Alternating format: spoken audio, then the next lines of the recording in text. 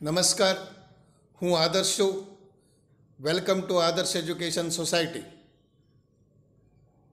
Standard eight subject science chapter five coal and petroleum dear students in this chapter you will learn coal and petroleum before that some of the introductions we will see See, we use various materials for our basic needs, various materials or various things for our basic essential needs. Okay, some of them have been, or some of them are found in the nature, and some of them have been made by the human efforts, okay, by the human made.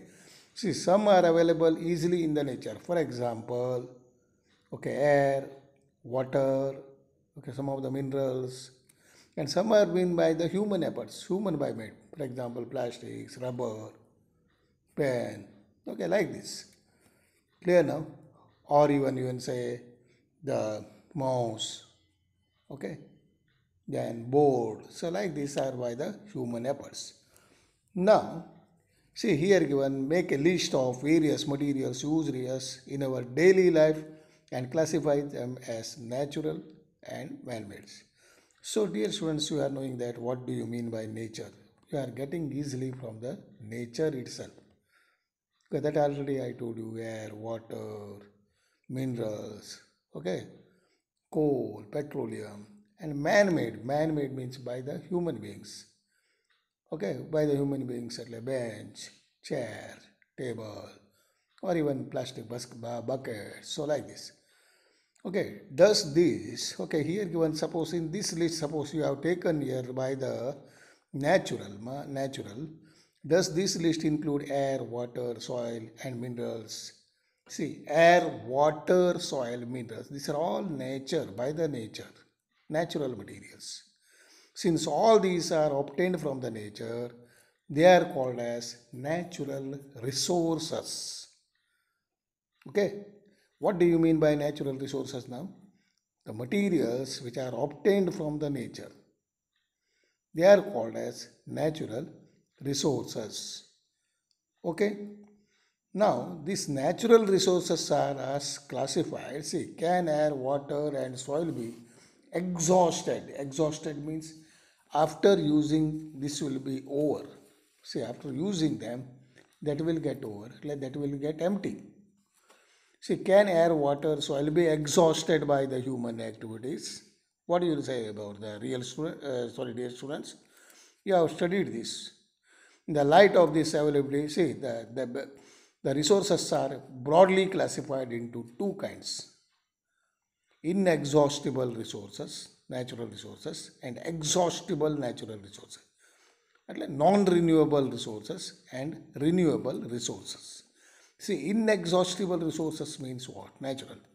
These resources are present in unlimited quantity in the nature. They are unlimited. For example, air, okay, water, mineral, and are not likely to be exhausted. After using them also, that will be not exhaust, exhausted. So that will not be become empty okay uh, by the human activities. For example is given here also sunlight air. In this you can use even water also. Okay? Or even water say air water. These are all included in this in the inexhaustible natural resources. So they are called as renewable continuously available also.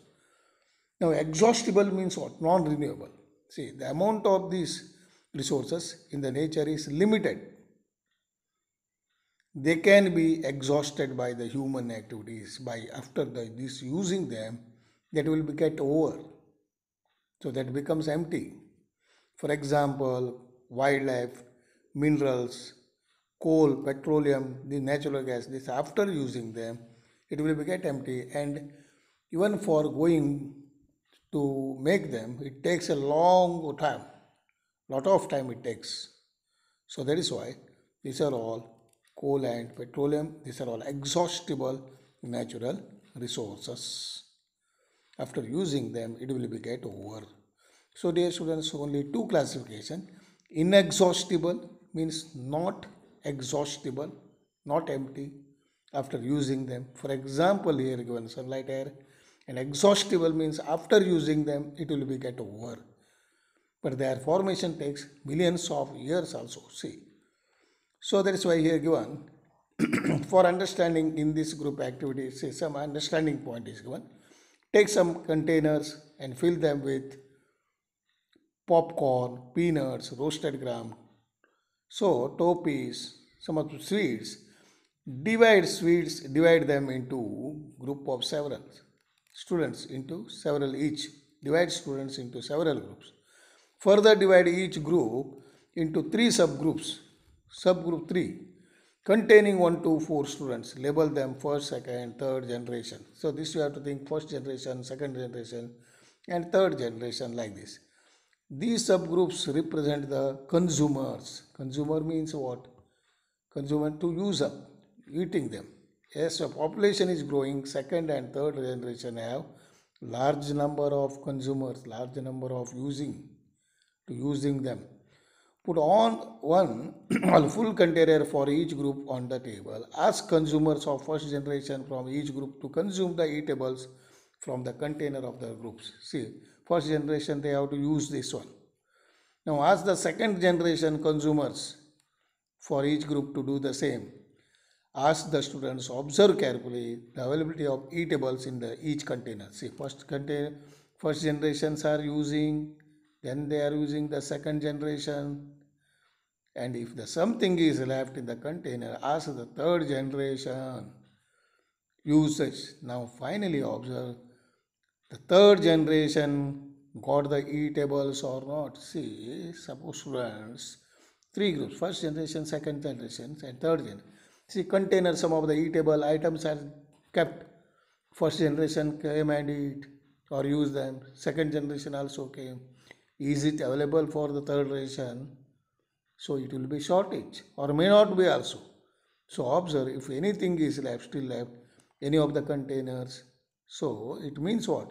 Assume that these eatable containers represent the total availability of exhaustible natural. So you have to think that they are exhaustible. Means after using them it will be get over. Okay, coal, petroleum or natural gas. See, coal, petroleum and natural gas. Exhaustible natural resource. These are all coal, petroleum, natural gases are exhaustible natural resources by the nature getting but exhaustible. each group may have different consumes pattern. Are the earlier generation of any group too greedy? It may be that the earlier generations, the some groups were concerned about the coming generation and left something for them. Only suppose if they have used more, then the next generation they will not get.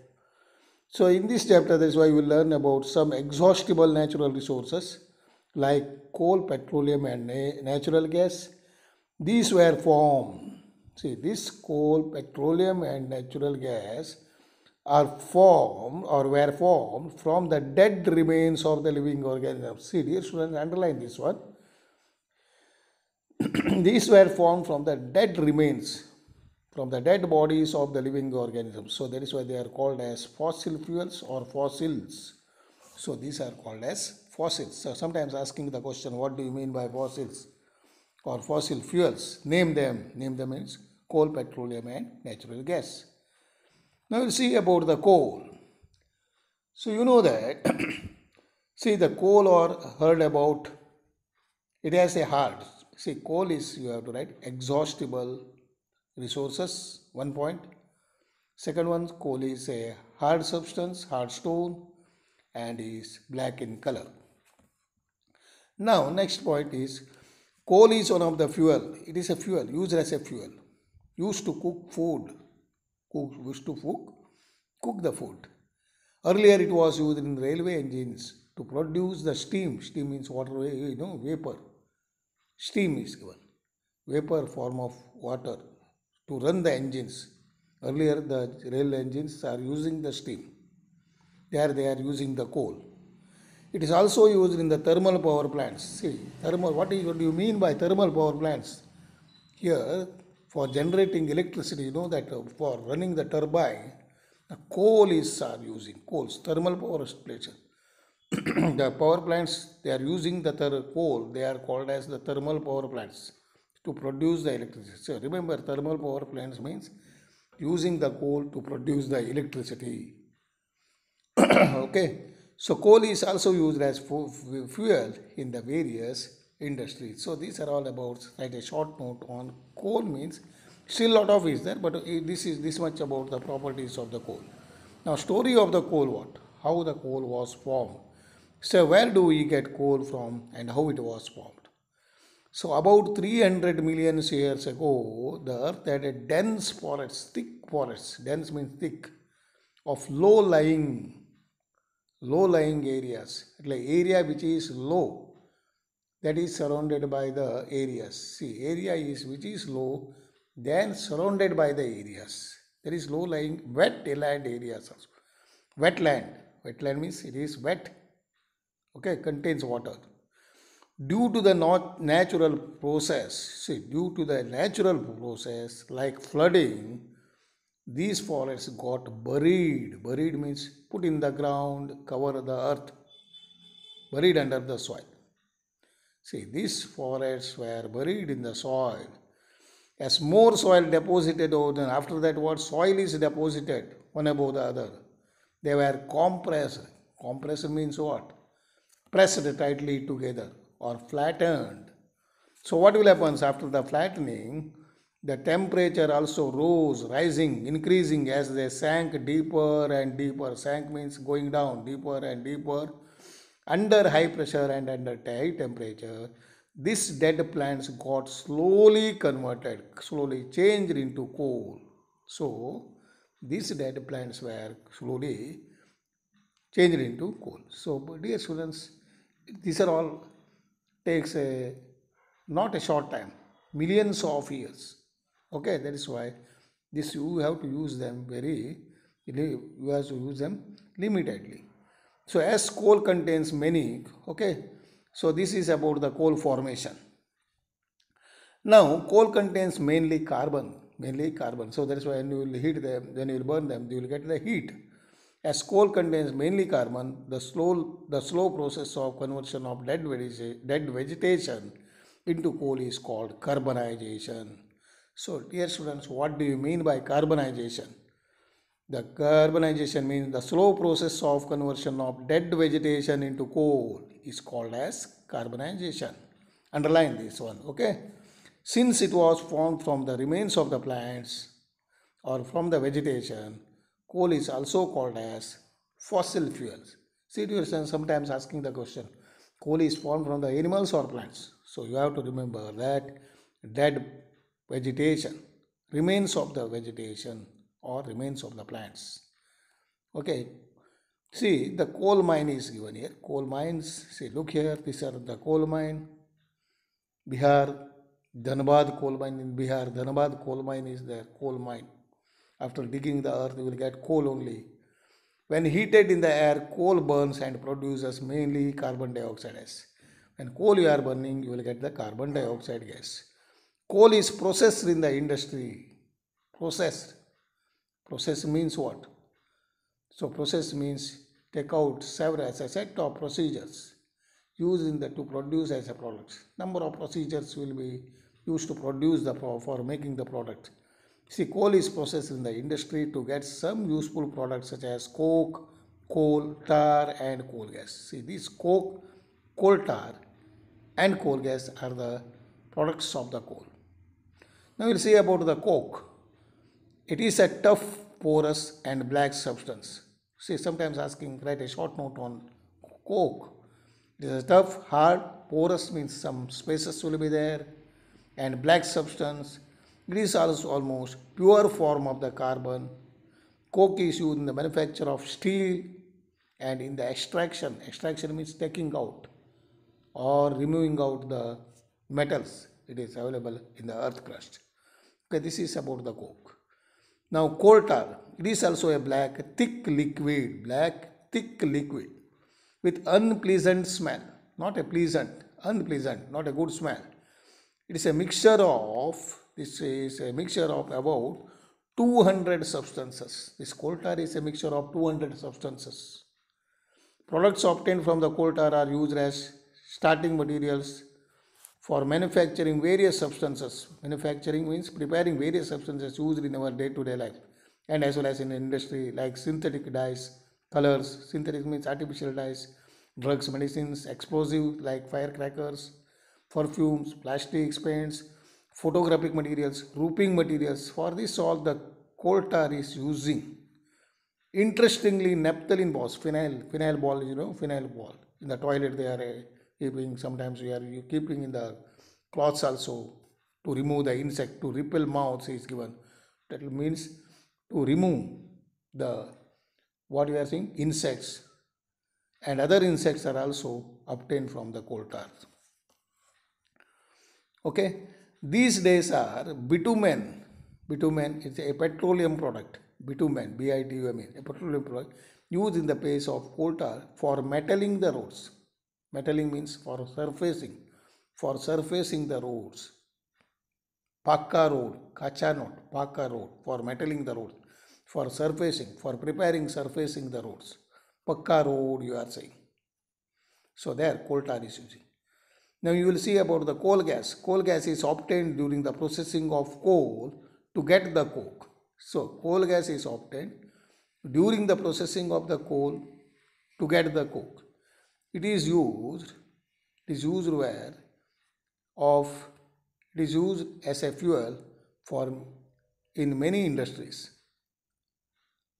situated near the coal processing plants. It is also used as a fuel. And now here somewhat given coal gas was used in the for street lighting for the first time in the London. Underline students. See coal gas was, was used the street lighting for first time in the London 1810 1810 year. In the New York around 1820. Okay.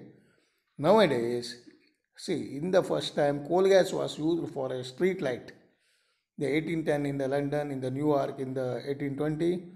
But nowadays it is used as a source of heat. It is used as a heat, not the light. But nowadays it is used as the source of a heat, not for the lightning. Okay, dear students. So these are all about the coal and exhaustible natural resources, you know, the inexhaustible natural resources. Okay, like this and introduction we have done so go through this and underline some important points. Okay, students. So we'll meet. The next uh, heading is petroleum. We'll, uh, we'll go for next uh, heading petroleum. Okay. Till that, bye bye. Thank you for joining us.